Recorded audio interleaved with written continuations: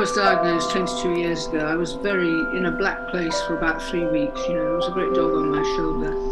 And I woke up one morning and suddenly the sun was shining very brightly and the sky was blue. And I felt this enormous, uh, almost, almost relief from the blackness, really. But that to me was a sense of wellness that lasted for a long, long time. I'm not so sure it's there now, but uh, it's, it's, it's there enormously in terms of you know, living with something that really is actually a bit of a challenge. Um, but external factors that help make it easier, as it were, really.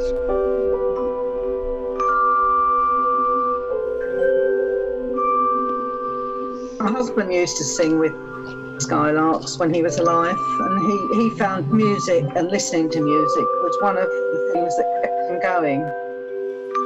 Yeah, music is so important. Yeah, I like listening to music. I can't play a note. I can't play a note, but I like trying to improvise with my voice, for better or worse.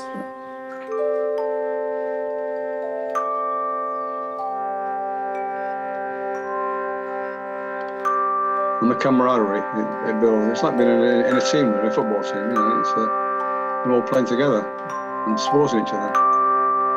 Nice.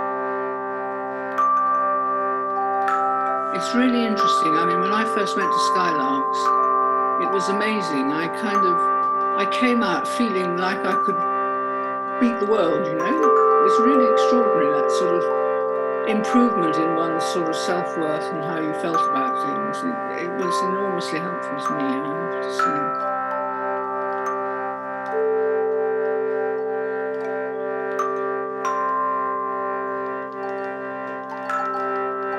say. Completely different to this Zoom, really, in a way.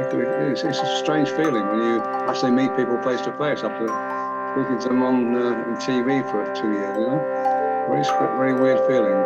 But uh, the thing, but the two things have got uh, got attributes, you know, good and bad. But it's very nice to get back together again. To be able to give people a hug, you know, after two years.